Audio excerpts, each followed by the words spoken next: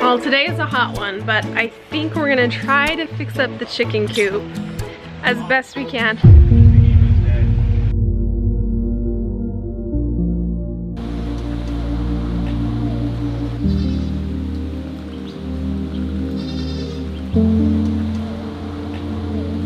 So, unfortunately, we came out this morning and Buckbeak was dead. We don't know what happened. He had food, water, shade, everything that he needed, but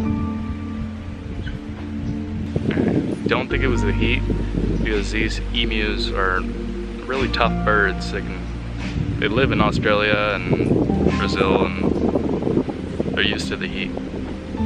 So I just called the vet.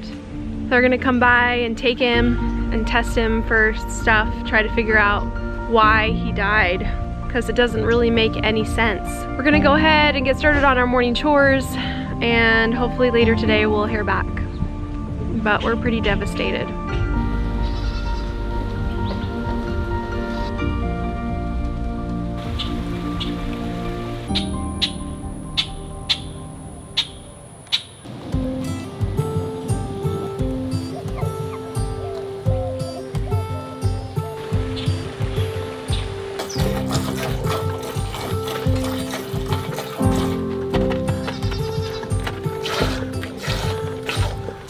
Kevin, come look at Willow. Willow! She's gonna jump. Willow, did you find a cool new way to peek over the fence? Oh, Willow.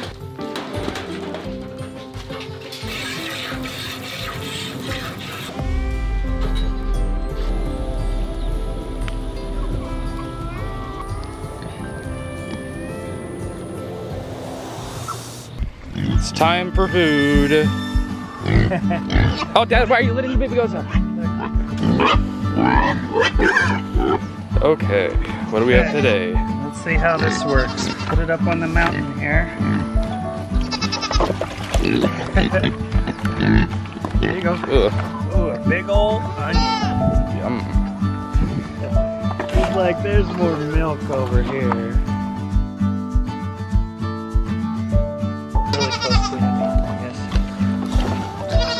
Oh, hello. Well, we have decided that we definitely need a mister out here because it's way too hot. Uh, we should get that mister that we were using for kiwi. Yeah, we should. Any dying, Ethan? Yeah. This fan helps a little bit. But it's so dry and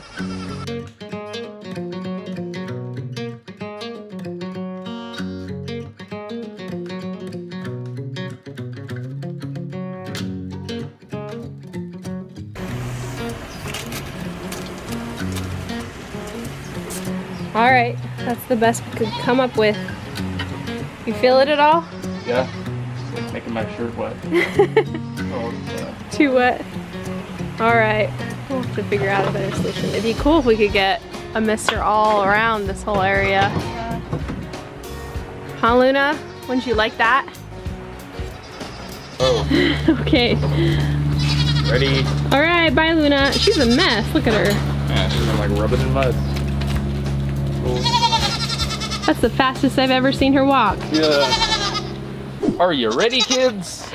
yes, they're ready. Gotta say aye aye. Go. Go! Let's see if Stella is still nursing from Luna. Oh my gosh. Right, but Luna usually isn't that. Oh, she went right for the other food. Look how big she is. Hey, you know you're not supposed to be able to. Hey, get out, get out. Oh.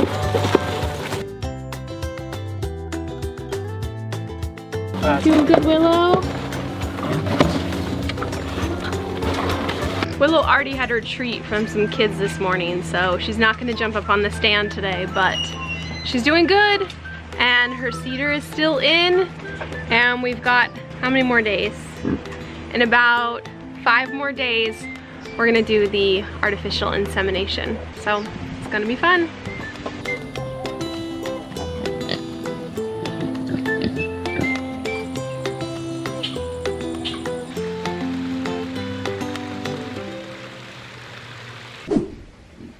Well, we got a call today about five more ducks that were found in a swimming pool. So now we have nine rescue ducks. So far they're all afraid of us. They're never gonna really be tame, but they're gonna get to eat food and grow up and then be released back into the wild. And they can swim in our pond with us. Maybe. But look, Lydia is the duck whisperer. Watch this. She's really No, they just like to relax on your hand. Here we go, go. Are you sure? Are you sure? Dad, Ethan! Ah! Okay, stand here. Just use your hand to just push them way back in the middle, Ethan.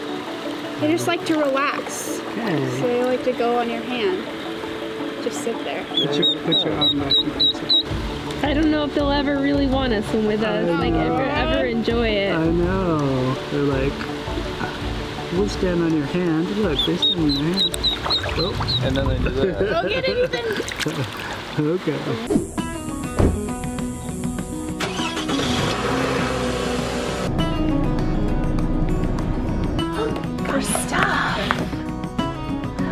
Patient is.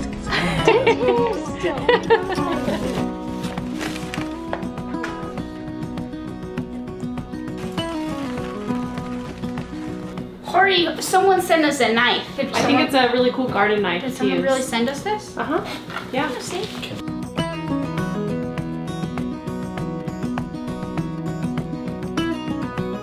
I got a goat hobble. you? It just went, it was just It's for him. Yeah. 'Cause So in this picture right here, it shows you put it on goats' legs, and I think it stops them from kicking. Yeah, it might be fun to use on Tilly. See if it Yeah, works. we'll have to try it. Ah. Some really cool girl named Macy sent us this one. Someone sent us a really cool We- couch foot. We've been missing that. We've been missing this. I don't know why that's in there. just in case you never got an Academy Award, we got some pink statue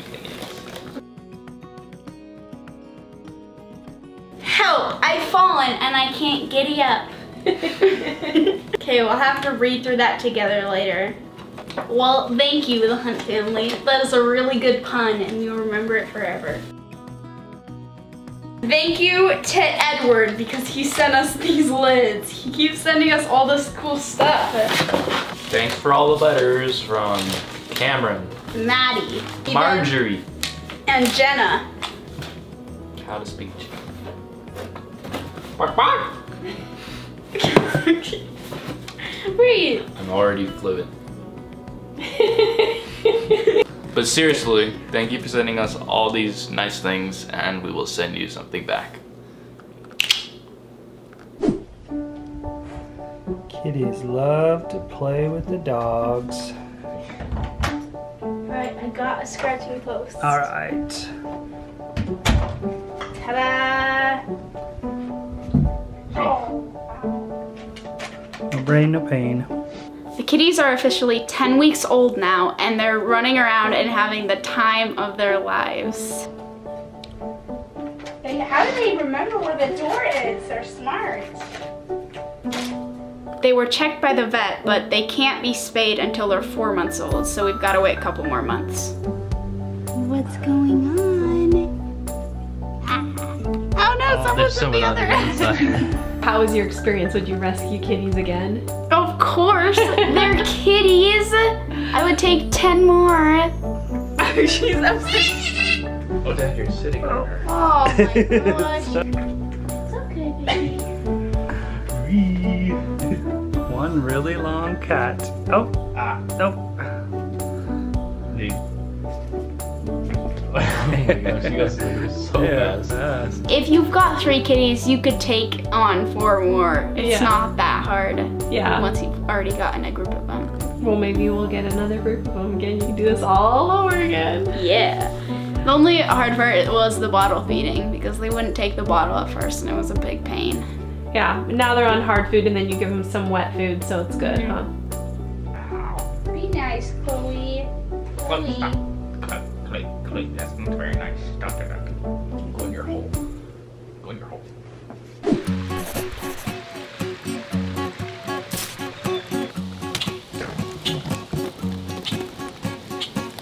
I had a dream that you were mine. You lit the flame right over the line. On my darkest days. Welcome to another episode of It's Hot and We're dying. We're dying and we don't know what to cook, so we're just gonna get stuff from the garden and try to make something happen.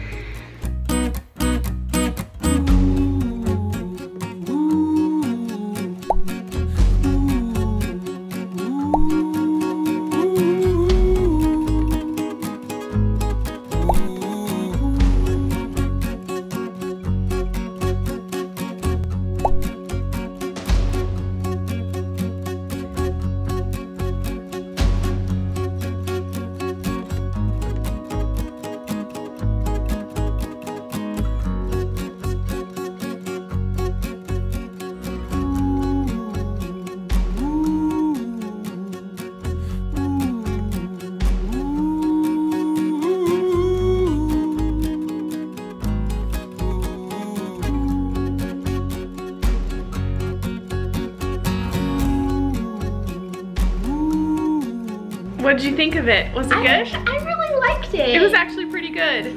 Yeah. It was just the zucchini, the eggplant, tomatoes, onions, garlic, all from the garden. And we like pan fried some of it. We sauteed some of it. Eggplant. I didn't know there was eggplant. Yeah, there was I eggplant don't in it. like eggplant. Now you do. Now I guess I do.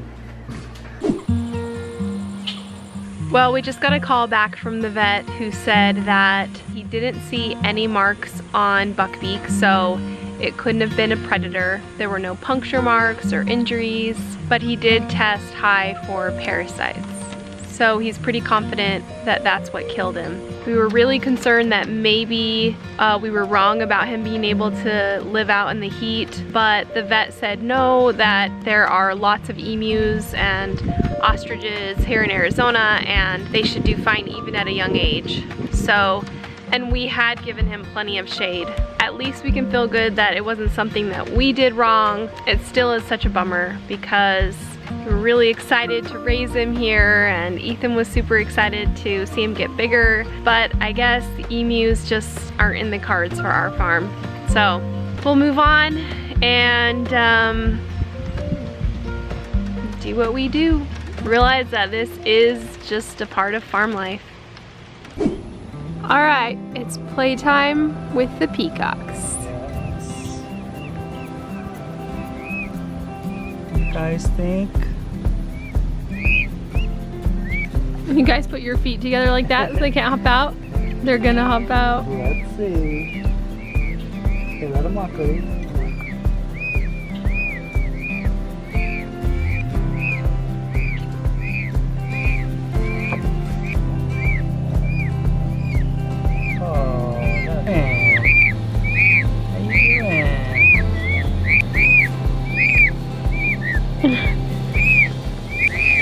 Determined to bond them with him. They are bonded with me. Look, they're all bonded. Oh, and Lydia scares them. It's gonna poop right in your mouth. They're gonna find their way all the way back to Kiwi.